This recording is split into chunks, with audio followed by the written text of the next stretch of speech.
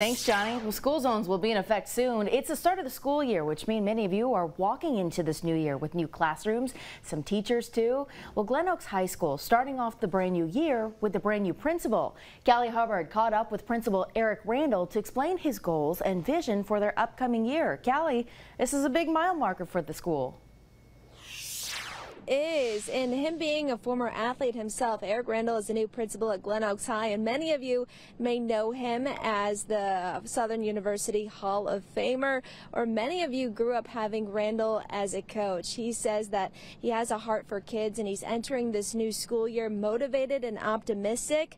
He says kids' safety is top of mind. Another big priority for him is improving school performance. Take a listen. The next thing is to improve our school performance score. We, we, are going to own that F, and I told our students they're excited about it. Our teachers are excited about it, and so you know we have to have that energy this year. I think that's that, and, and what we'll get at the end is the results that we're looking for. We're we're going we have a bold goal in moving our school performance score one letter grade, and that's from an F to a D, and then we can continue to move. Once our kids see that that's what our main goal is, and we're going to have fun in the process, they're safe, and so that that's going to permeate throughout the rest of it.